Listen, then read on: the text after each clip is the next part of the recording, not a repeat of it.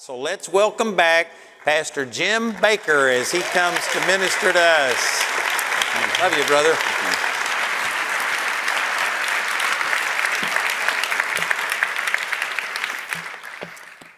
Man, that was encouraging, just hearing all that. So good. You guys are salt of the earth people.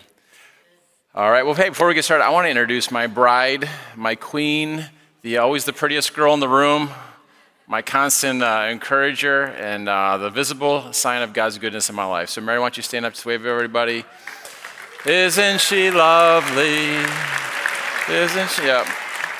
So, thanks, babe. 29 years will be 30 years this year, so, so thankful. And so, um, hey, uh, a couple of quick products. This is a book called um, How Heaven Invades Your Finances. It is the best book on finances that I've ever written. the only one. Book two is coming out in April. And so, um, actually, it's based on, I did, a, uh, I did an 18 part series on finances in our church. I found out that was the most offensive thing a pastor named Jim Baker could do. And um, at, at, as a result of this, within 12 months of, uh, of the finance series, about 50% of our church got out of debt um, completely out of debt, most of them including paying off their houses. Like, how on earth can that happen? Well, it's 3 John 2. You prosper as your soul prospers. Prosperity starts on the inside. Prosperity starts with who you have, not what you have. So it's not about a bunch of gimmicks and blowing a shofar over your checkbook or marching around, you know, your bank statements and having the walls of debt fall down. It's not about these gimmicks. It's about tapping into the reality of who God is. And so um, I'll, I'll, just give these away as a, as a package. This is the series. This has got probably about, you know, half the stuff in there. Is um, I don't know how to do this. Yeah, Matt? Give it to someone who looks like they're a false prophet. So, no. So, no. So there's one thing that um, is terrible. Every person who has made a difference for the Lord and, and, uh, and, and changed, the, changed the planet, changed the city, whatever, changed their family, they had a, one thing in common. They had a lifestyle of encounters with the Lord one encounter with the Lord can actually change everything. And so some people feel like they're encounter impaired or they just have a hard time receiving. And so my wife uh, is really gifted at helping people step into encounters with the Lord. So this is a book that teaches you into encounters. But at the end of each section, there's a QR code or a website where she actually walks you through having an encounter with the Lord. And she uh, takes you through different Bible passages. It's a book called God's Glory on Display. And so I love to give this away. Someone who just really wants more of the Lord. So. If you don't want more of the Lord, then just, you know, forget it. So.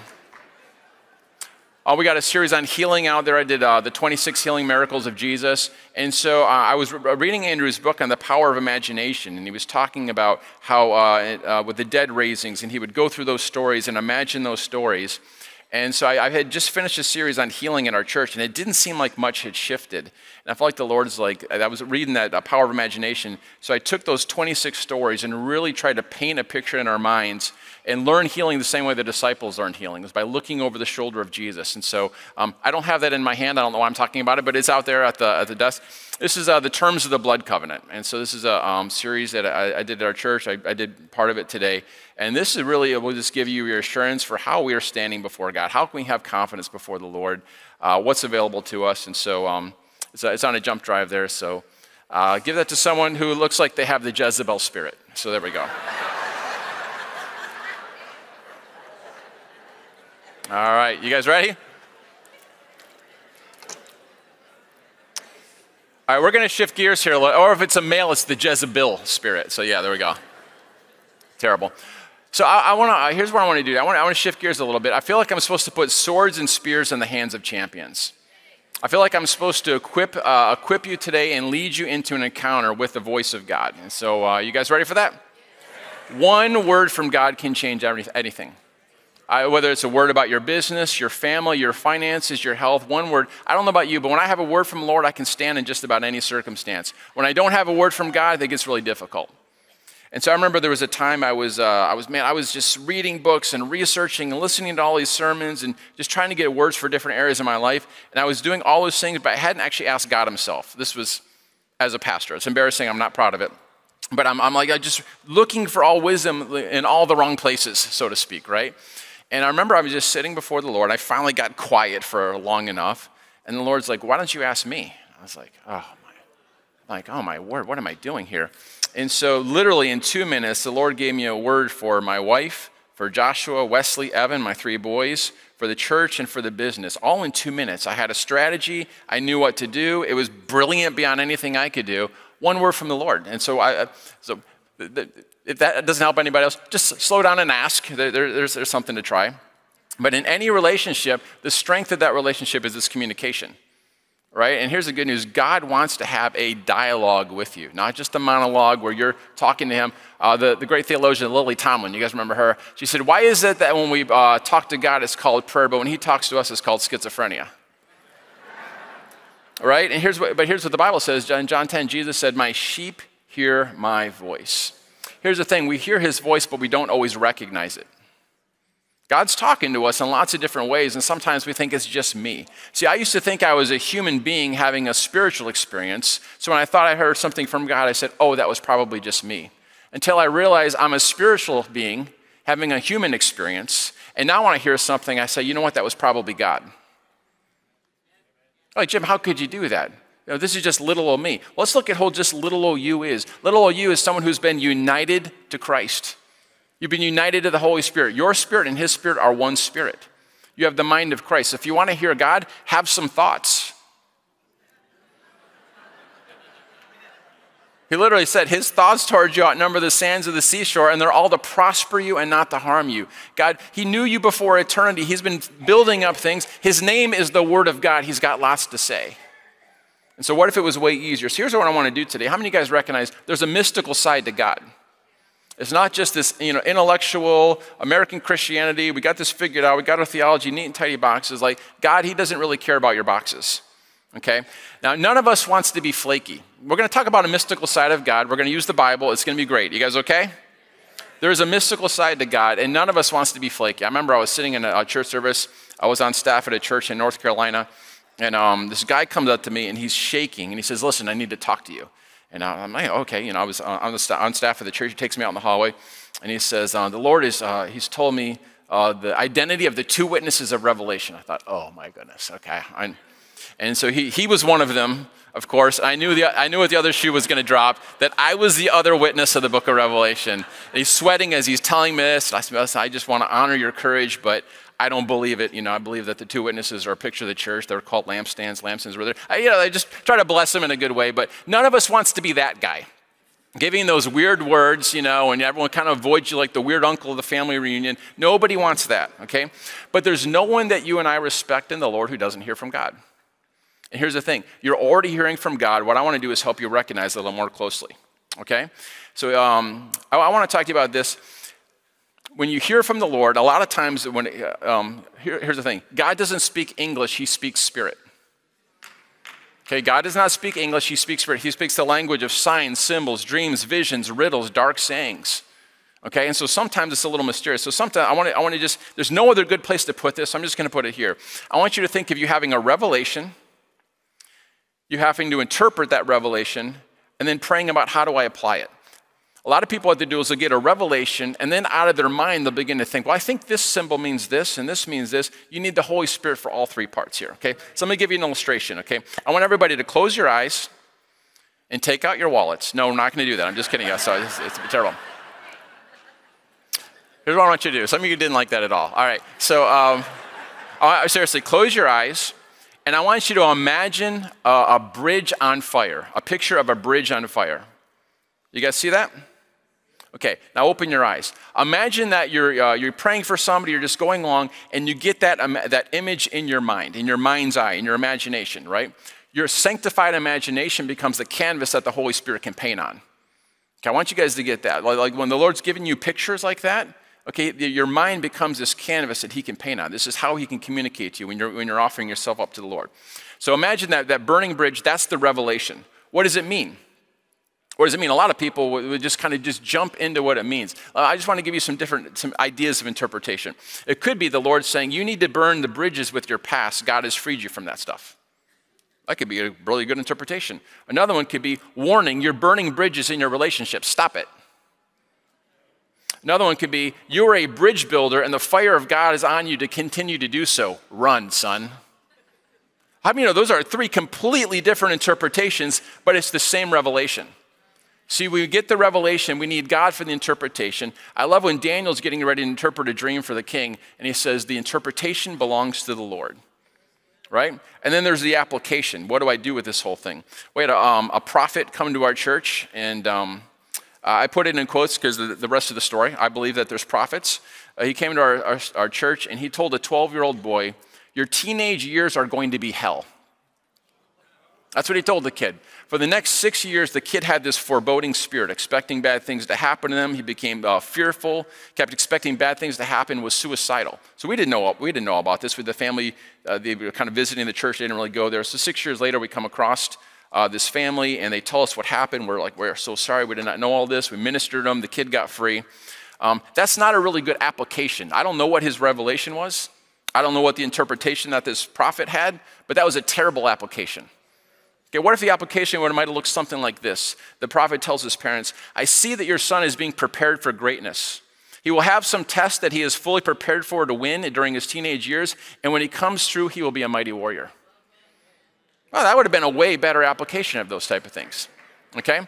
So when you're getting a word from the Lord, there's a revelation, the picture, there's the interpretation, what does it mean, application, and what do I do with it? We need the Holy Spirit for all three parts. Okay? Are we doing good? Okay, so when does God speak to us? Constantly. Okay, he's the Word of God. He's like every time you hear from God, you're having an encounter with Jesus. Okay, so um, how does God speak to us? Uh, turn to me to uh, Jeremiah chapter 1. We're going to look at verses 11 and 12. Jeremiah chapter 1, verse 11 and uh, 12. I want you to show you just kind of a weird one. You guys good so far? The word of the Lord came to me. What do you see, Jeremiah? I see a branch of an almond tree, I replied. The Lord said to me, You have seen correctly, for I'm watching to see my word is, that my word is fulfilled. Well, that's kind of an odd one.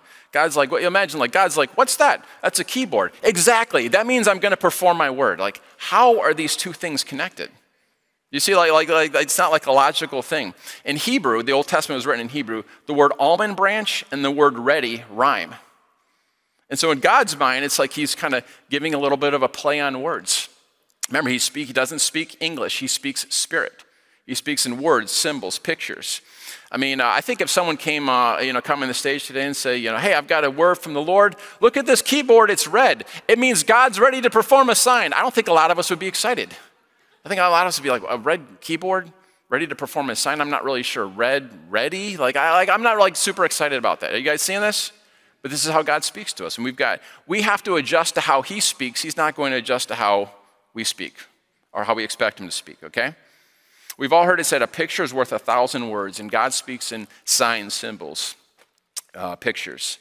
And so, as we're getting ready to start this, um, I'm just going to give you a warning. If you're not willing to take what you hear and, uh, and get, into, get uh, input from other people who see and hear clearly, your life might go poorly for you. I'm not talking about being some renegade and I can hear from God and nobody else can hear from God and you can't have any kind of input into your life. I'm not talking about being that guy, okay? And uh, you guys, are we all right with this? All right, I feel like, yeah, all right, all right. Okay, good, good, good. Um, the hungry heart is the heart that's going to hear the best. The hungry heart is the heart that's going to hear the, hear the best.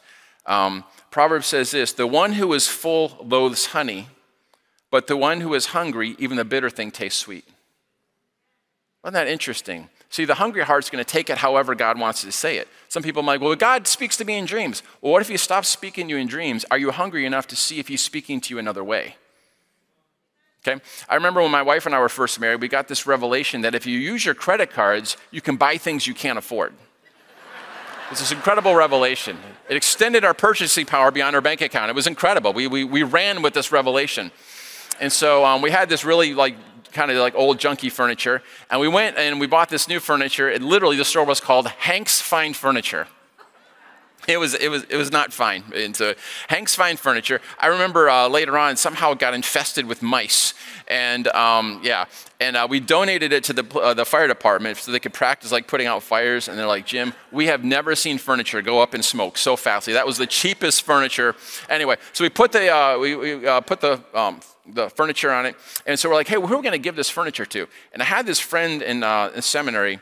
Uh, what was his name? Kenny and Sabrina. Kenny and Sabrina. They had no furniture. They were married like us and broke. We, you know, we were broke too. And so, except we had, the, you know, the revelation of the credit cards. And so, like, literally, their apartment, they had a bed, and that's it. Like, they're eating picnic style every single every meal. Like, that's all they had was a bed, like, like not a, like a mattress on a floor, no bed frame. And so I'm like, hey, Kenny, you know, um, and I've been to your place, and hey, you know, Mary and I got this blessing of the Lord with this, you know, Mastercard, and it's, it's incredible. And so we like to like give you guys some furniture. And uh, here's what he says to me. Remember, they're eating on the floor. Okay? He says, you know what? I need to come over and make sure that, it, that the furniture fits our style.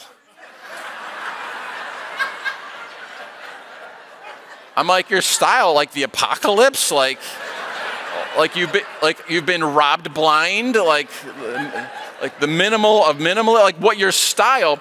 They came over and they rejected our furniture. the one who is full loathes honey. But to the one who is hungry, even the bitter thing tastes sweet. Listen, guys, when you're hungry, you're not going to be picky about how God speaks. It's the hungry heart that hears best, okay? And so, uh, our, our greatest treasure is to host the Holy Spirit, to, uh, to seek Him, to follow Him, to listen to Him. I don't know about you, I want you to get this picture in your mind. I want to be like a leaf on a tree responding to His slightest breeze. I want to position my heart that way. We find, uh, Jesus said, My words are spirit and they are life. We find life in his words. And so Jesus tells us parable about four soils, and there's one seed. The seed is the word of God. The, uh, the soils are different heart conditions, they have different kinds of responses. And he talks about how the, there's a, soil that the good soil produces 30, 60, even 100 fold response. You guys remember this story? And so I'm reading this, and I'm, I'm like, God, I want to be the hundredfold, hundredfold soil. I don't know about you guys. When you read that, I'm like, I, I mean, 30 is incredible, but I want the hundredfold. And I remember the Lord said, keep reading. I'm like, keep reading. I don't know if you guys know, the next parable actually interprets the 30, 60, 100. So let's read it in uh, Mark 4 21. Mark 4 21. And Jesus said to them, Is a lamp brought in to be put under a basket or under a bed and not on a stand? For nothing is hidden except to be made manifest nor is anything secret except to come to light. If anyone has ears to hear, let him hear. And he said to him, Pay attention to what you hear. Here's the key the measure that you use, it will be measured to you, and still more will be added. For the one who has, more will be given, and from the one who has not, even what he has will be taken away. You guys ready for this? The value that you place on God speaking is the measure that you will hear. I'm going to say it again. The value that you place on God speaking is the measure that you will hear. He says, Pay attention to what you hear. Verse 24. With the measure you use, it will be measured back to you. Proverbs 25 2 says, um, It is the glory of God to conceal a matter, it's the glory of man to search it out. That's the way that it's supposed to be, is God speaks to us in a language that requires hunger and thirst. It's the glory of God to conceal a matter. It's the glory of man to search it out. Listen, God hides things for you. He doesn't hide them from you. Okay, so my friends, uh, they adopted this little boy named Samuel, and he didn't quite understand the game of hide and go seek. Okay, so he would do this. He would go hide behind the couch and he'd say, I'm over here, come and find me. Okay, that's how God plays hide and seek. He's not hiding from you, he's hiding for you. There's something in this seeking that enables you to become the kind of person who can carry the weight of the answer. All right, I'm trying to say something here. Remember uh, Easter egg hunting? So there's no parent that's going in the backyard, digging up a, a, six foot hole, putting the eggs under there, burying it up, putting back the side, and they're like, let's see the kids find this. Actually, there might be some parents like that, but they're, they're, they're not great parents. I had a friend whose, uh, whose dad made them open presents Christmas evening, made them wait all day just to torture them. So he might do that. But most parents are like, they're like hiding it, you know, like, uh, like you know, right in front, right, right next to like the, the flour jar in the counter or like on top of a pillow on the couch, right? You're hiding things for your kids, not from your kids. This is how God says the kingdom is. It's the glory of God to conceal a matter. It's the glory of kings to search it out. It's time for us as royal sons and daughters to rise up and begin to search out these things that God has for us. All right. So, do you want to hear God more? He's saying, pay attention, hunger for his voice, value it, treasure it, write these things down, pursue these things. Have you ever been around one of those people who find spiritual meaning in everything? I married one. And so I'll be honest, I used to kind of make fun of her a little bit. And, um, and so, like, to her, a digital clock was not a way to tell time. It was a portal for heaven to speak to her. She's like, Did you see it's 11 11? I'm like, Yeah, it'll probably happen twice today, you know, like. But she's like, Yeah, but I saw it like four days in a row. It's 11 11. I'm like, Okay, like, like I, I don't understand. I don't understand what you're talking about here, right? And so, um, uh, we had a friend who said, um, Not everything means something, but some things mean more than you think. And as I begin to find out that those weird people who begin to find God all over the place, God sure seemed to be speaking to them. They had a lot more fruit than me sitting there with my arms crossed making fun of them. And as I began to despise those things and mock those things, it was like I heard less. And when I repented and said, you know what, God, I see in the Bible, we're going to go through a bunch of the ways that God speaks. And I want you, I just want us to open ourselves up and say, God, you can speak in a whole bunch of different ways. And I think a lot of you are going to connect some dots, go, you know what? I'm hearing God's voice. I didn't recognize it. He's already been speaking to me that way. Prophetic ministry, that is a different kind of ministry. Have you ever been around like the prophets? I'm not talking about like this, just the spooky prophet eyes, but just prophetic people in general. They can be a little bit different. Um, do you guys remember the original Batman movie with uh, uh, Adam West and Burt Ward? Remember that? Um, the original. I remember uh, Robin, he would say things like, Holy hole in a donut, Batman. Remember that? My favorite one that he said was, Holy contribution to the delinquency of minors, Batman. I'm like, What? That was literally one of the ones that he said. So in the original Batman movie, you remember this, and so uh, there's something going on over this sea, and they send Batman and the Batcopter on there, and Batman goes down the, uh, the little bat ladder thing, and all of a sudden, you remember this shark grabs hold of his leg. You guys remember this? And it was this really funny looking rubber shark. And Batman's trying to punch the shark off him and it won't do it. He says, Robin, get me the shark repellent. And so they go up to the, um, they go up to the Batcopter and they're panning over and it says manta ray repellent. Remember this? Hold on, I think I wrote it down. Uh, manta ray repellent. I did not write it down. Oh, barracuda repellent, whale repellent, then there's the shark repellent. Thank goodness. You, know, you don't want to mix up the manta ray with the shark repellent. So Robin gets it, and Robin was an acrobat, if you remember. And he takes it and he kind of hooks his legs down. He puts the Batcopter on autopilot, hands it to Batman. Batman sprays the shark in the face with the shark repellent, and he falls off. And as he falls off, the shark explodes. Revelation. Shark exploding was the revelation. And the next scene, you have Chief O'Hara, Commissioner Gordon, Batman, and Robin are now going to interpret this revelation. So as they begin to talk, they're saying, they're trying to figure this out. And, um, and uh, uh, Commissioner Gordon says, it's quite puzzling how this happened. puzzling. Could it be the Riddler, one of Batman's arch enemies? And Batman says, the, uh, the shark was pulling my leg. The Joker. and then um, Chief O'Hara says, it was quite, uh, no, what was it? It was, uh, yeah, yeah. Oh, it was quite fishy. Could it be the penguin? My favorite one, though, Robin says it happened at sea. C is for Catwoman. SEA happened to SEA. But C is for Catwoman. I'm like, this is the prophetic ministry I'm watching happen right in front of me, right here.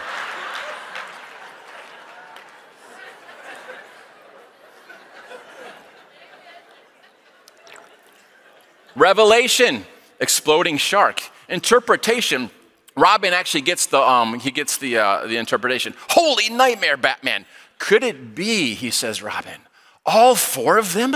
And they realize it's all four of Batman's greatest enemies teaming up against him. And then the application what are they going to do to fight off these bad guys?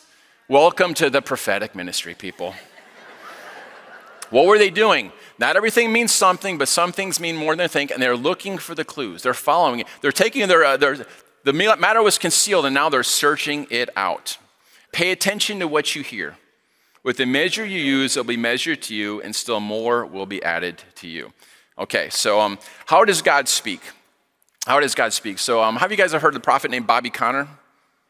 Yeah, so we love Bobby. Bobby's researching a book. He was helping Jack Deere write a book called um, Something About God Speaking. Um, Surprised by the Voice of God. Fabulous book. So Bobby's kind of researching, he was going to help Jack Deere. And so he's researching ways that God speaks. And all of a sudden, you know, prophets, a lot of times they have these experiences with God that are pretty extraordinary. And so he says he's at his office and he kind of hears something in the background. He looks and he says there's this like a fuzzy curtain that appears. And all of a sudden the curtain opens and Jesus steps through the curtain. so he's kind of he's kind of dumbfounded and he's, he's, turned around in his chair and he says, uh, Jesus looks at him and points and says, Tell Jack I can speak any way I want to. goes to climb in the curtain, swings his arm back around, and says, I can speak any way I want to. Gets in the curtains. Obviously, he didn't want Bobby to limit any way God could speak. So um, I'm going to ask you guys a question How can God speak? Okay, so this is not meant to limit anything in the way God can speak. We're just going to simply look at some.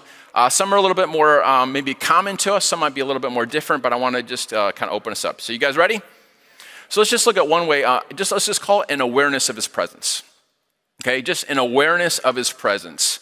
Uh, we come into His presence. We're fellowshipping with the Lord. Uh, we're not really vocalizing anything. We're just kind of sharing spirit to spirit. Like I'm just enjoying the Lord. Maybe I feel a peace. I wouldn't be able to tell you when I came out of that time anything that the Lord had spoken, but I felt like had been ministered to. Okay, how many of you guys have had an experience like that? Okay, that, that counts, all right? Um, another one uh, might be the still small voice. That would require a whole message on that. I know Andrew's got a great series on hearing God's voice, and uh, a lot of Christians have learned the still small voice. Maybe you've heard it called a prompting, uh, maybe you've heard it called a leading. Uh, Matthew 4 1, if we could uh, pull that up there because I don't have it in my notes. Matthew chapter 4, verse 1. And then Jesus was led up by the Spirit into the wilderness to be tempted by the devil. Okay, and so uh, there's an, maybe you've had an experience where there's this unction, there's this leading, there's this prompting that you're supposed to go and do something. Okay, so there's those leadings, there's those promptings. Sometimes it gets even stronger where it's like a check in your spirit. Like there's this check, like I'm, I'm, I, I can't go here, you know. Um, maybe you've heard those stories of people who are like they were supposed to get on a plane and they didn't get on a plane because they felt like God told them not to, and the plane ends up crashing. And so, um, Acts chapter 16, verses 6 and 7. Acts chapter 16, verses 6 and 7. And they went through the region of Phrygia and Galatia, having been forbidden by the Holy Spirit to speak the word in Asia. Verse 7 And when they had come up to um, Mysia, they attempted to go to Bithynia, but the Spirit of Jesus did not allow them. You see that the Holy Spirit forbid them, did not allow them. That's another form of this of, of, these leadings, of these promptings, of just being uh, that, that I'll just call being um, forbidden or like that check in the spirit. How many of you guys remember that? You, you maybe you're going to go make a purchase, you were going to maybe go into business with somebody, but you've had a check in your spirit where you just weren't supposed to do this. Okay, and there's just that absence of peace. Okay, we'll just call that uh, another level there. Another way God speaks to us through is the scriptures. I want to just say this the scriptures are the basis for all of our hearing from God. okay? And so the more grounded you are in the, in the, in the Word of God and the ways of God, I think the better you are to be able to recognize His voice. And so I remember we had a, a relative, and uh, he was getting a divorce. And um, I remember my dad went up to him and was like, uh, hey, um, you know, what, what am I hearing about this? And he's like, oh, um, he's like, uh, God wants me, God says it's okay for me to get divorced because God wants me happy and I'm not happy in my marriage, and so God says it's okay for me to get a divorce, okay? So, how do we evaluate that statement? Well, we could evaluate a scripture. I remember my dad, my, my dad, my dad put his hand under his armpit and says, Your armpits are sweaty because you're lying right now. I was like, Oh, wow. he did. He's, and so, yeah, anyway. Anything that you're hearing from God has to line up with the ways, ways of God or the Word of God. Look at 2 Peter chapter 1 verses 19 through 21. 2 Peter chapter 1 verses 19 through 21. This is interesting. It says that we actually I'll, read what it says. And we have the prophetic word more fully confirmed. What's more fully confirmed than a prophetic word? To which you will do well to pay attention as to a lamp shining in a dark place until the day dawns and the morning, morning star rises in your hearts. Knowing Knowing this, first of all, that no prophecy of Scripture comes from someone's own interpretation, interpretation I'm, I'm, switched on, I'm sorry. For no prophecy was ever produced by the will of man, but men spoke from God as they were carried along by the Holy Spirit. This is interesting that you have this prophetic word, but you have this more sure word, which was the word that was written down, the scriptures. And so we want to, that, that is, that is the, the, the level of hearing that's the baseline for everything else. Another way God speaks to us through is our desires. Our sanctified desires can actually reveal the will of God. Listen to Mark 11, 24. Whatsoever things you desire when you pray, believe that you receive them and you shall have them. Whatsoever things you desire when you pray. This is not a license to pursue every desire, but your desires are literally shaped in the presence of God. As you're in prayer, as you're in God's presence, He begins to shape your desires, and you can actually begin to trust the things that you're desiring when you're in prayer. I would encourage you with this too. As you're praying, sometimes our minds begin to wander, I'm not saying every time it wanders, but a lot of times I'll just keep a pen and a paper there and I'm just kind of enjoying the Lord and I'll have a thought. a lot of times those drifting thoughts are actually God leading me. I'll begin to write those things down and I'll see later on, oh, I was supposed to call that person. Oh, I actually need to follow up on this. So you're actually, your desires can get shaped in person. How many of you feel like you've been led by your desires that have been shaped? Awesome. Um, so yeah, so if your mind wanders to something while you're praying, pay attention, okay? Um, another one, let's just call it an open vision. Okay, this is almost like a movie screen. Like your eyes are open and you're physically seeing something on the screen. So I haven't had a lot of these. I remember when we first started pastoring the church, I was feeling really intimidated because the church seemed super prophetic and I felt very pathetic, right? And so it's like the, the pathetic ministry. And so, um, and so I, I, drink a lot of water during the day. And so I'm walking down the hallway. This is like in reality, not in like in a, a prophetic dream. And so I'm, I'm, in, I'm walking down it and the hallway was dark. We just had the lights off. And so when I got to the restroom, all of a sudden I had this open vision.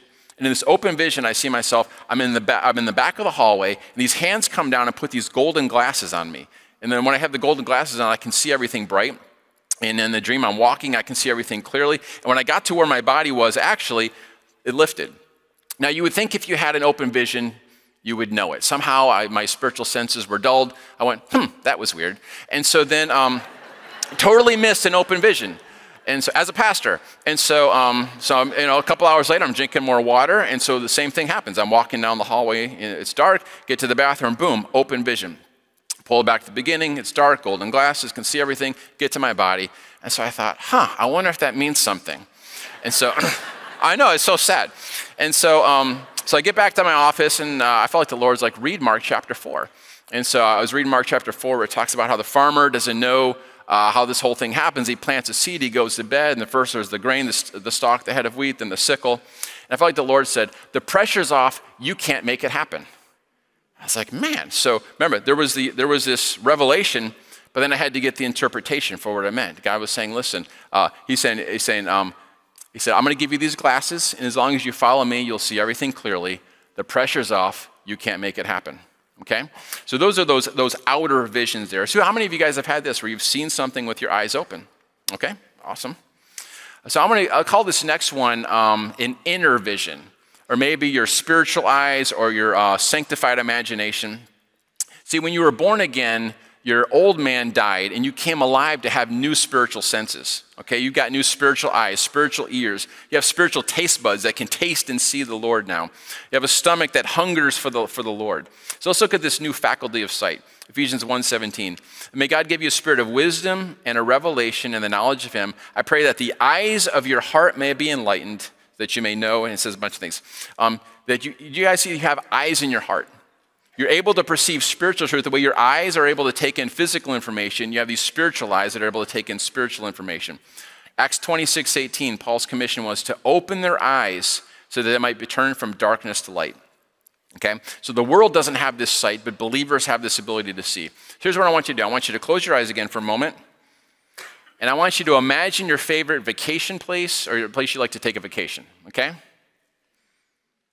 All right, open your eyes. Okay, now with your eyes open, I want you to picture that place that you had with your eyes closed, like a snapshot or a picture, or like a little movie in, your brain. Are you guys able to do that? That is how it's going to feel to you when God speaks to you through your, this inner vision, your imagination. Guys, it's not more powerful to have one of these, however God wants to speak to you, we'll take all of them, okay? But I bet you there's a lot of times you guys have had an inner vision. You've had something come to your mind, a name, something you were supposed to do.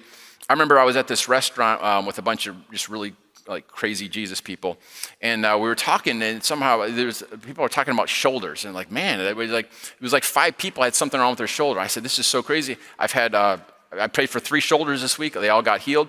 I'm like, let's just let's just go for it here in the restaurant. And so I come up to this person, and as I'm getting ready to pray, my eyes are open, and I see in my mind.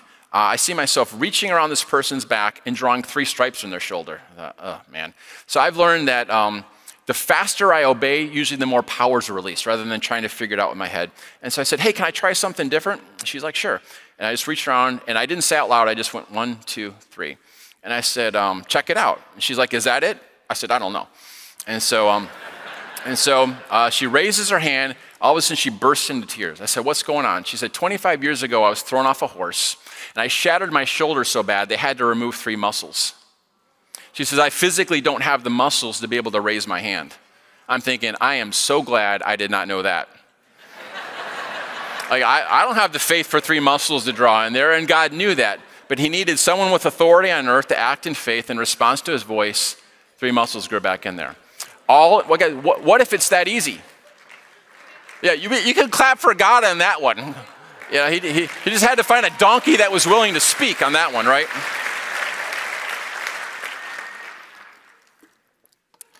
How many of you guys have had this before? You guys, you had that inner vision, that spiritual imagination?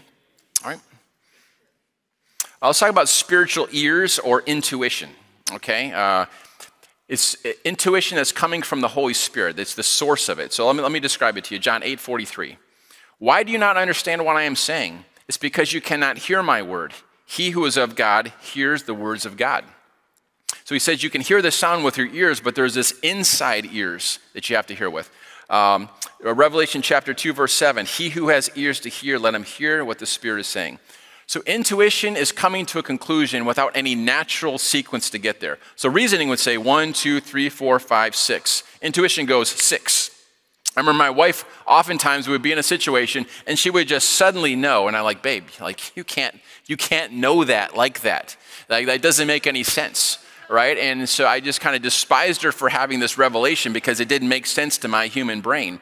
I've learned to trust that uh, more and more. How many of you guys remember um, uh, the, the spiritual cartoon Phineas and Ferb? You guys remember this?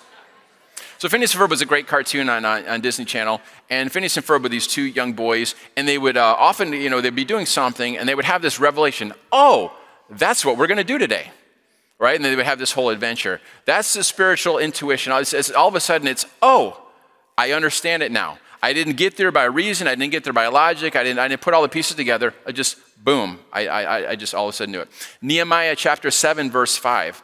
So God put it into my heart to assemble the nobles, the officials, and the common people for registration by families. It wasn't an audible voice that Nehemiah heard. There was this inside voice where all of a sudden he knew in his heart, I know what I'm going to do today.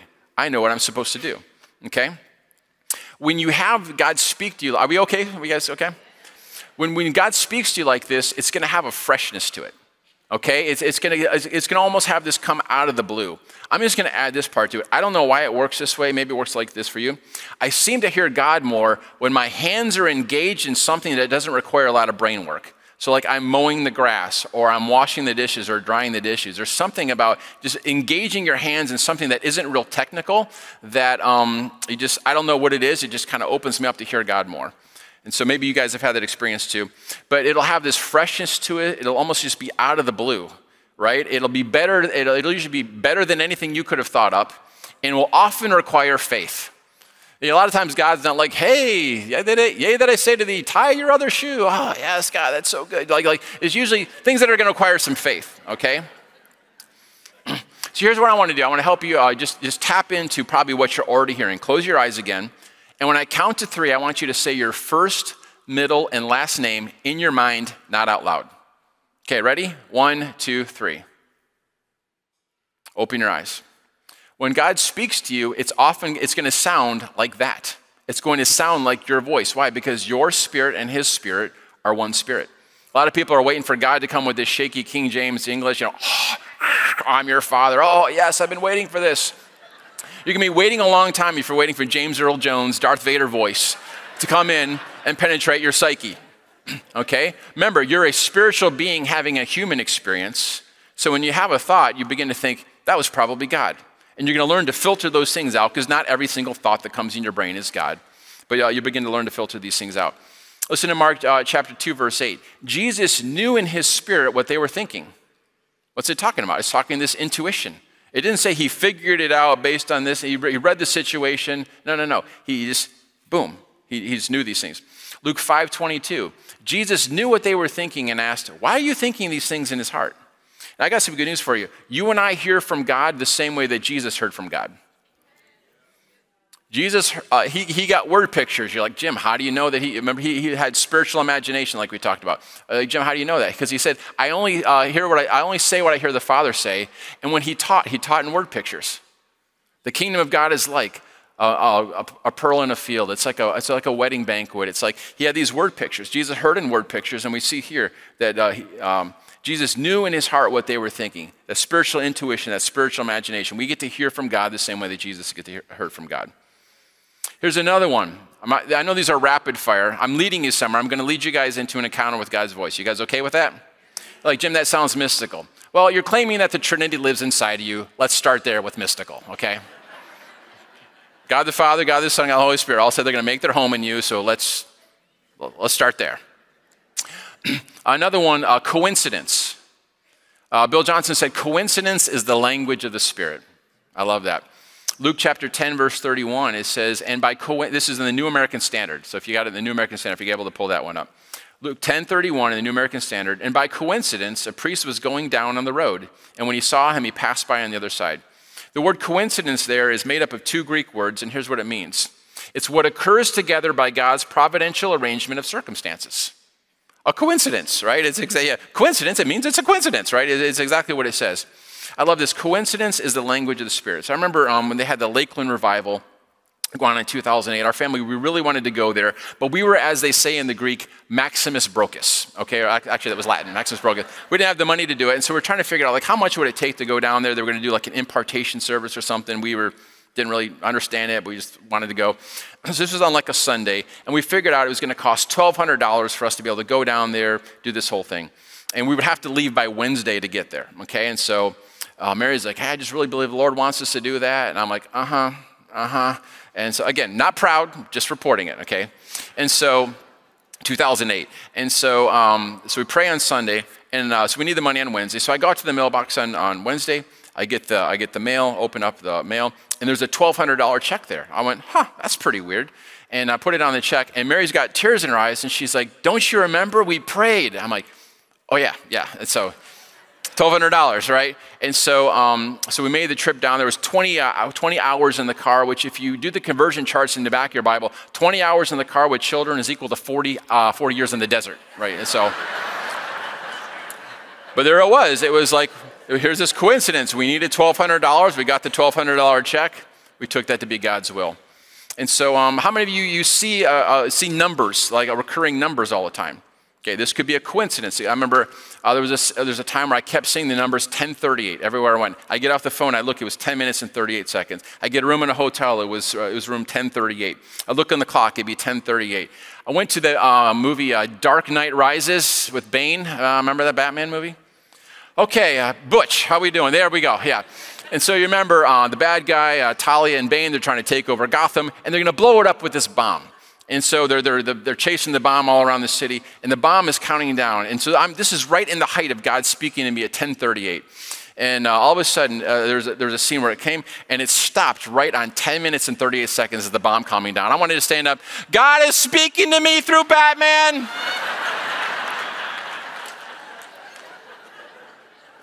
You're like, Jim, I think you're reading into stuff. Maybe I am. Not everything means something, but something's more than you think. And God began to reveal, Jim, this is your life verse, Acts 10 38. How Jesus it was uh, Jesus of Nazareth anointed with power. He went about doing good, healing all who were oppressed by the devil, for God was with him. And so it was a coincidence to begin to see. I remember um, there's, there's a car called the Oldsmobile Alero. I don't want anyone to feel bad if they have an Oldsmobile Alero, but no one's excited about an Oldsmobile Alero. It's, it's not like, I just began to see them everywhere. Like I don't normally notice Oldsmobile Aleros. I just began to notice them everywhere. And I'm like, hold on, like this is, this is a coincidence. I'm seeing these cars everywhere. I went and looked up the meaning of Alero. You know what it is? It's a Nigerian name, and it means um, grace of the land and good things to come. I'm like, man, I, I keep getting these love notes from God. I remember one time I was sitting at the light. All of a sudden, the, the presence of God ru- like rushes in my car. I'm like having an encounter with the Lord, sitting there at the stoplight, and I look next to me. It's an Oldsmobile Alero. Not everything means something, but some things mean more than you think. How we doing? How many of you guys have had these uh, unusual coincidences? God speak to you through numbers type of thing? All right. How many of you think I'm weird and you can't wait for this to be over? Yeah. All right. Andrew, you'd be surprised how many hands just raised. So, yeah, I appreciate the honesty. All right, there we go. Uh, let's get another uh, one unusual circumstances. How many of you guys know sometimes things just are too strange to not be prophetic? You're like, this is just strange. So Moses, he's walking in a desert and there's a burning bush, which probably wasn't that unusual for a combustible bush in the middle of a desert, but what was unusual is this one was not, was not, uh, was not, was not being consumed, all right? And we all love the part where it says, and Moses turned aside, right? And so what happens is a lot of people, they just don't turn aside. They're, they're not paying attention to these things, all right? Um, another way God can speak to us is through nature. Uh, Romans chapter 1, verse 20. I'm going to be reading from the New Living Translation. Romans chapter 1, verse 20. For ever since the world was created, people have seen the earth and sky through everything God made, and they can clearly see his invisible qualities, his eternal power, and divine nature. Well, you can actually see God and have Him speak to you through nature. Uh, Psalm 19, 1 through 4 in the New Living Translation. The heavens proclaim the glory of God. The skies display his craftsmanship. Day after day, they continue to speak. Night after night, they make him known. He even talks about trees would begin to cry out if, they didn't, if, there, if uh, people didn't praise him, right? And so some occurrences are too weird.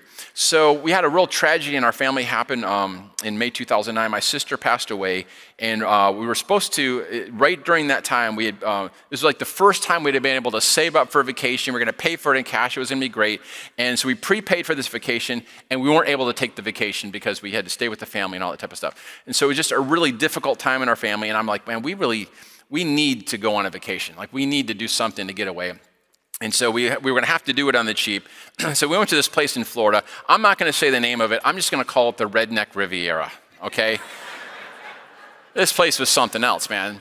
And so I'm just, just, you know, I want you to know, I, I had partnered with something negative, like, like, like a negative spirit. So I am Mr. Krabby Pants, is what my wife called me. And so, um, in the spirit she called it that. And so um and so i'm just i'm just i'm just upset about everything. I'm ticked off that we lost our money. I'm ticked off that we're in the redneck riviera. And so um i go down and it's senior week not meaning senior citizens meaning seniors in high school. And so they're hanging out the balconies drinking bongs and beer and wearing basically nothing.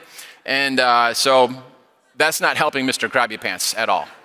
And so i go down to the pool. People are eating chicken in the pool not at the pool, standing in the pool eating chicken. I'm like, you people are classless, you stupid hicks. I can't stand it. So I'm sitting there just judging them. And this guy gets out of the pool limping. And Mary's like, Are you going to go pray for him? I'm like, Oh my word. like, you got to be kidding me. So we go to this place called Shell Island, which I renamed Hell Island because it had no shade. And in case you don't know, I'm not like Mr. Outdoors. You know, I got like sunburn from my Kindle Reader, you know. And so so typically, whatever year it is, that's the number of sunblock I wear. So this year I'll be wearing 2024 sunblock, right? and so, um, so we go to Hell Island, and uh, I thought I had put on some lotion, like you know, like the mime makeup, basically, you know. And so I, am putting on this lotion, but it was uh, it was the stuff you're supposed to do for like the aftercare for the sunburn. I put on the wrong stuff, so it's a sun accelerant. And so here we're on Hell Island, and I'm like, man, I just, I'm not, I'm not feeling good. And as we're walking off Hell Island, I had blisters that had formed all across my neck. My feet were no longer recognizable as feet; they looked like lobster claws. And so I, I can't wear, I can't even wear shoes in the car. I'm like, I'm all swollen up. So for three days, I'm crabbing at everybody, and you know, I'm trying to, yeah, it just the whole story there. And so the kids are like, Dad, we know you're sunburned, but you promised to take us to the water park. I'm like, oh my word. And Mary's like, babe, you promised the kids, maybe you can just kind of you know, wear some clothes to cover it up. I'm like, fine, fine, we'll go to the stupid water park, you know? So we get to the water park, I'm like, I forgot a hat and sunglasses. And Mary's like, you can wear mine. so already, I have a polo shirt on with a button to the top with the collar up to protect my neck. Now I've got this giant sun hat on and those sunglasses that are like Marilyn Monroe, right? so now I look like a gay French king going to like a pool or something like this. And so I am extra crabby, extra crabby at this. And so um, Mary goes, Hey, just pretend you own a yacht. I'm like, Yeah, that's, that's real funny, real funny, right? And so, so going to this stupid water park, I got socks up to my knees, I got shorts on, I got the collar up, I got the hat, I got the Marilyn Monroe on. So I'm, I'm, feeling very self conscious. And I go in there, it looks like an episode of Baywatch. It's like all these gorgeous lifeguards everywhere. And I'm like, oh my gosh. So I got my socks on and I'm going on the tube. And every time I pass, like on the thing, the lifeguard's like, hey, um, your socks are on. Like, like they're helping me. I'm like, yeah, I already know that, okay? And so I try to go down the slide, and you're not really supposed to wear like thick cotton shirts. No lie. I go down the slide, and it acts like a parachute, and it catches the water, and I get stuck halfway on the slide. So I'm having to like inch my way down. So just, just partying with bad stuff. And so like the next day we get in the car to go home and I'm just crabbing everyone. And um, all of a sudden we're driving on the highway and this uh, white bird is flying right next to us, like 55 miles an hour, okay? 65, whatever we're going, and it's flying next to us, and all of a sudden it takes a right turn. You know how like all the pictures of doves, it's like the top view of a dove? All right, so we're going, and all of a sudden this bird goes, and it flashes. It's like I'm a dove, like like it does like that thing, and then like right in front of our windshield, and it keeps going. And I'm like, stupid bird, you know, and everything. And um, Mary's like, oh my word, did you see that? And she's like, that, I think that was a dove. I'm like. and she's like, doves don't fly in the freeway and that. And she's like, I think it means something. And so I'm like, oh my gosh, let's make this stop. And so um, and so she's like, the kids are in the back. She's like, kids, just let's ask the Holy Spirit what it means. And uh, one of the kids uh, says, um, Dad, I think it's God telling us that even though we're going through a tough time, He's still with us. I tell you what, as soon as he said that, something lifted. It was like God spoke through nature, something lifted, and it was like that whole thing left. I remember we went to a gas station. I'm like, I got to get my game back. I need to find somebody sick to pray for. So I remember I'm scanning it, then some guy comes by with a limp, pray for him, he gets healed. I was like, I'm back. I'm back. what happened? God spoke through nature. God spoke through nature. Uh, I'm, I'm, just going to uh, kind of go through some of these quickly. Dreams are parables at night. Dreams are parables at night, and so a lot of pe- a lot of times people are like, "Ah, oh, what did you eat last night? You must have had some spicy pizza or something like that." Like in the Bible, they didn't want like, "Hey, did you have some weird matzo balls or something?" Like they they didn't say that. Kings actually sought out people who could interpret dreams. Jesus would not be alive if they did not honor the dream that Joseph had about fleeing uh, about fleeing from Egypt. Like dreams were honored. How many of you are dreamers? Okay. So, um, how many are, uh, so my, my wife, I mean, literally, every morning starts off with, did you have any dreams? Which is code word for, I had a big one and I want to tell you about it. but let's hear about your stupid little dream first, right? So she has what I call saga dreams. I'm like, there's no way you can remember that kind of detail. And so just when I feel like it's finally over, it's like, oh, and then episode two, we went into this room with these clowns. I'm like, what are you talking about? You know? Not really the clowns, but literally my dreams are like, yeah, I went to Walmart and there's this guy in a wheelchair and I prayed for him and he got out. And she's like, is that it? Like that's all I got, right? So dreams, they're, they're the parables at night. Some people have the saga dreams. And, um, but we've had direction uh, for our church. We've had God speak to us about, warn us about wolves in the church. Our kids would have dreams, not knowing the interpretation. They would tell us about them, and God showed us interpretation. And so, if you want to have more dreams, let me give you a surefire way to do it. You guys ready?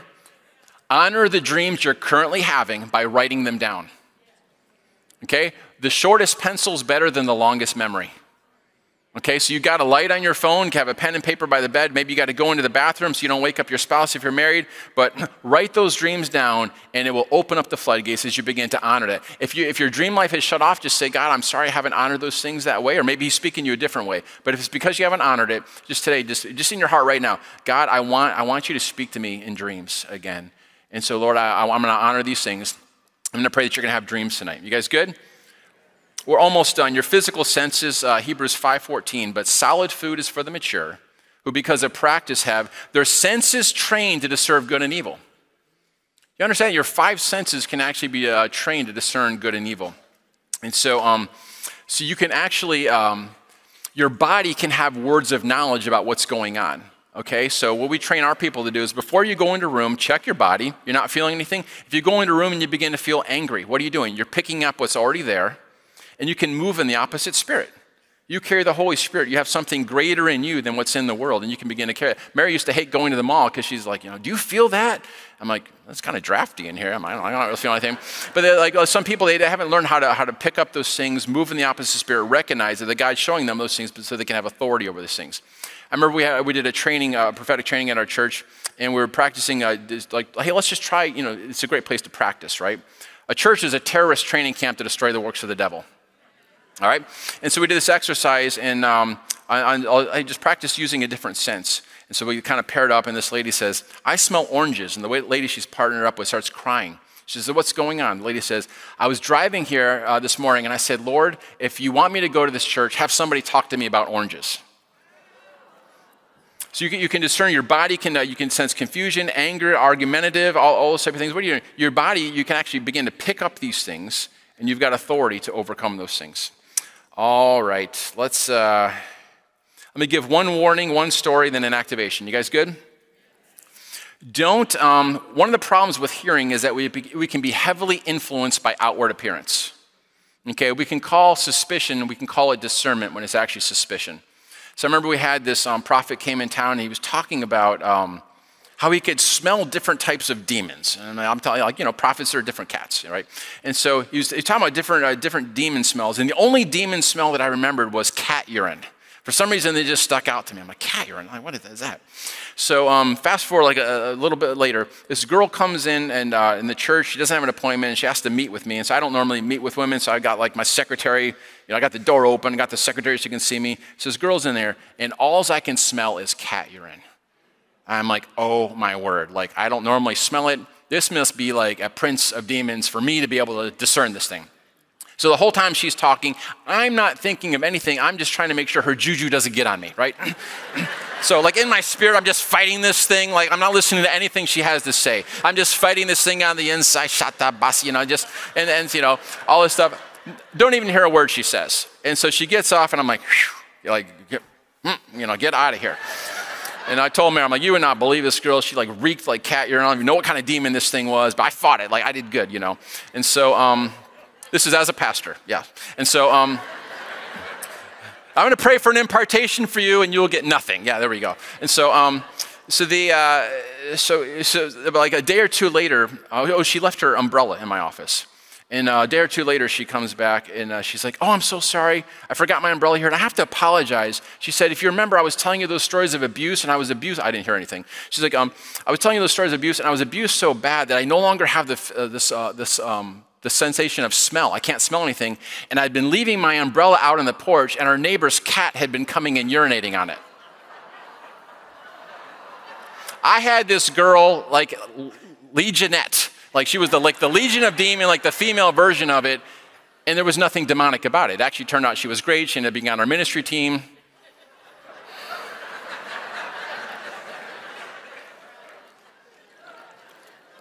If someone comes in dressed like a homeless person in the service, we might be more nervous thinking that they're apt to do something bad just because of outward appearance, not because the Holy Spirit is telling us these things. Okay? So the warning is you can be heavily influenced by outward appearance. All right, so um, you know why the Holy Spirit is called the Comforter? Because he's going to have you go into situations where he's the only comfort. You're not going to get your comfort from your circumstances. He's going to make you uncomfortable. And as we're growing in these things, we have an opportunity to hear. So I'm going to close with a story and lead you in activation. So, um, like I said, you may, you may not have just picked this up, but I'm not Mr. like outdoors. I'm not like Mr. Hunting. You know, I prefer filtered air through air conditioner than being outside. You know, my idea of roughing it is having a window facing the woods in the hotel, you know. it's like, let's go camping. I'm like, yeah, let's pay a whole bunch of money to pretend we're homeless. That sounds amazing, right? And so. And so my parents sent me to wilderness camp in the sixth grade. It was uh, we lived in Kentucky. It was called Camp Webb, and so you're fishing, you're doing archery, and one of the things they do is they teach you how to do a shotgun. And so sixth grade, so we're there, and the shotgun instructor is giving all the instruction. And this may surprise you. Um, I was goofing off with my friends and not listening. I know it's you're probably like Jim. It's just so out of character. It was just it was a dark season, and so um, goofing off with my friends. I don't hear anything that he's saying. and so all of a sudden he says, "You come up and show us how it's done." Sixth grade Jim Baker, um, you know, I don't know what I was probably like five foot, 80 pounds, you know, I look like, you know, a little Olive Oyl, you know, from uh, Popeye's girlfriend. so I come up there and uh, I, didn't, hadn't, I didn't listen to anything he had to say. And so uh, if you know anything about shotgun, it was a 12 gauge. So you got 20 gauge, 12, 16 gauge, 12. 12 gauge has got the most kick. You should not be giving an 80 pound boy, uh, you shouldn't be giving me an adult Jim a 12 gauge. So, you know, you're supposed to put the gun on this shoulder so it's got some meat to kick to, okay? I, I didn't listen to this part. So I get the gun and I slap it under my arm.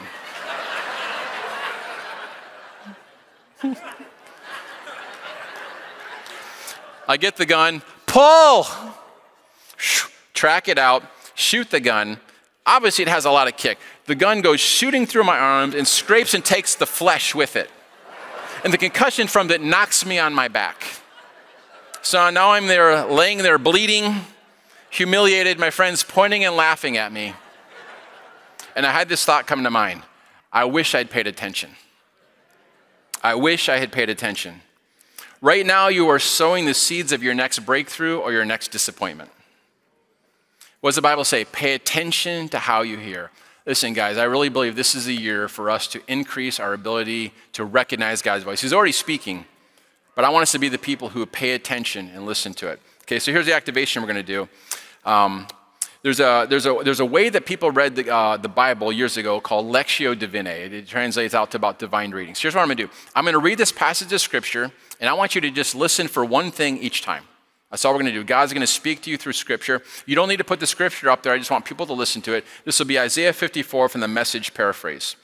Okay, so before we start, you guys okay? Okay, so here's what we're going to do is uh, I want you to just close your eyes and just still your spirit and just say, uh, just pray that prayer that Samuel prayed. Speak, Lord, for your servant is listening. So I'm going to give you 20 seconds to just kind of settle your spirit down, and I'll give you instructions for the first reading.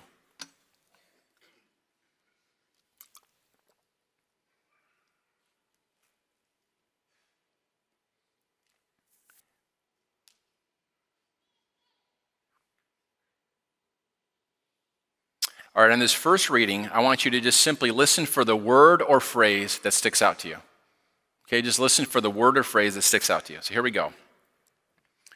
Sing, barren woman who has never had a baby. Fill the air with song, you who have never experienced childbirth.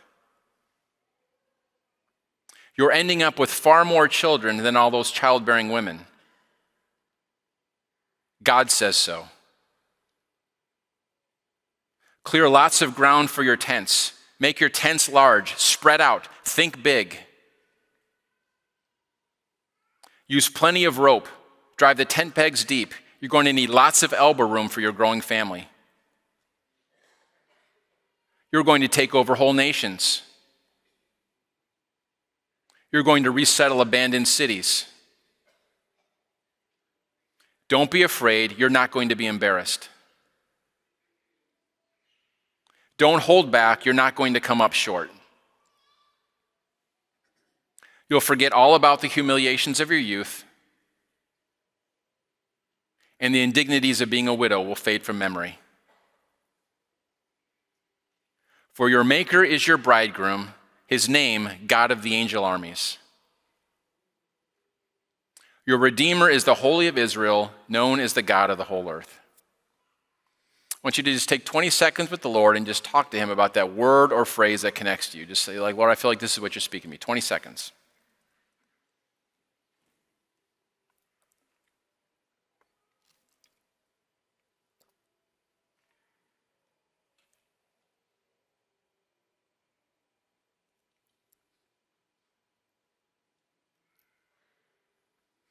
Or here's what I want you to do I want you to turn to one or two people next to you and just simply share that word or phrase. No conversation about it, and then we're going to go back to our second reading. Okay, just somebody turn to somebody, share their word or phrase that stuck out to you, and then we'll uh, go back to our second reading.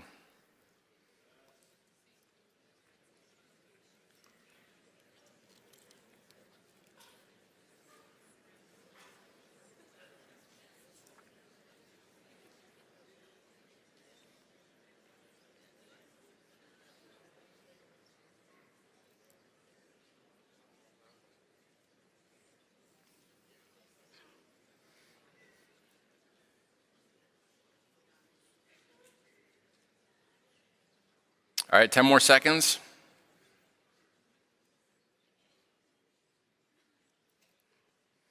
All right, in the second reading, here's what I want you to do I want you to listen for where in your life that word connects to you. So, he gave you that word or phrase. Where in your life does that connect to you? Okay, here's the second reading. You're listening for where that phrase connects to you. Sing, barren woman who has never had a baby. Fill the air with song, you who have never experienced childbirth. You're ending up with far more children than all those childbearing women.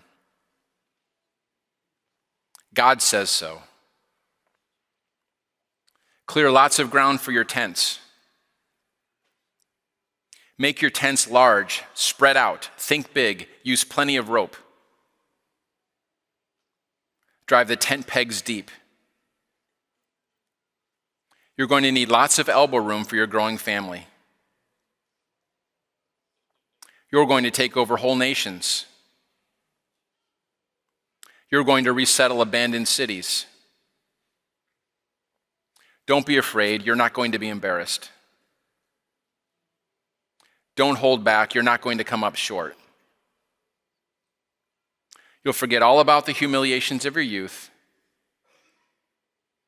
and the indignities of being a widow will fade from memory.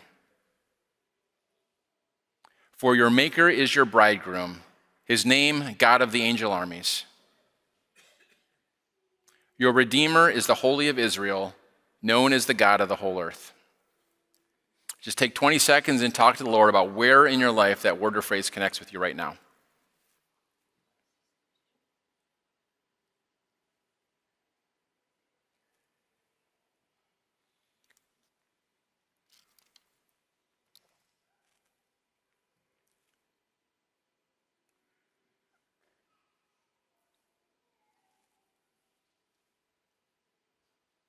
Here's what I want you to do just turn to the person next to you and just in one or two or three sentences, just share where that word or, or phrase connects to your life right now. Just in a, two or three sentences, then we're going to do our final reading here. 60 seconds, go.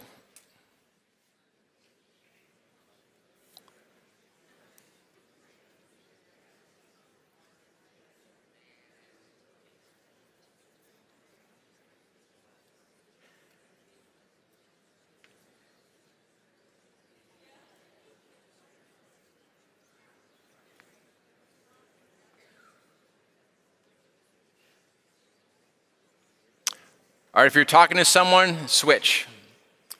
So you, you give the two or three sentences here in the next 30 seconds.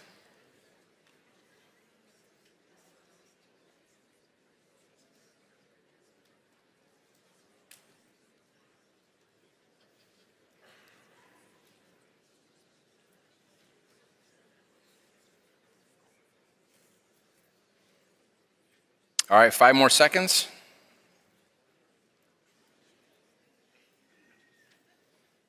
Are you guys ready for the final reading? Here's what I want you to I want you to listen to God's call to action.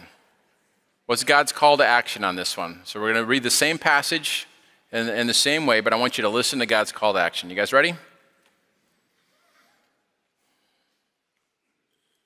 Sing, barren woman who has never had a baby. Fill the air with song, you who have never experienced childbirth. You're ending up with far more children than all those childbearing women. God says so. Clear lots of ground for your tents. Make your tents large, spread out, think big. Use plenty of rope, drive the tent pegs deep. You're going to need lots of elbow room for your growing family. You're going to take over whole nations. You're going to resettle abandoned cities. Don't be afraid. You're not going to be embarrassed. Don't hold back. You're not going to come up short. You'll forget all about the humiliations of your youth, and the indignities of being a widow will fade from memory. For your Maker is your bridegroom, his name, God of the angel armies. Your Redeemer is the Holy of Israel, known as the God of the whole earth.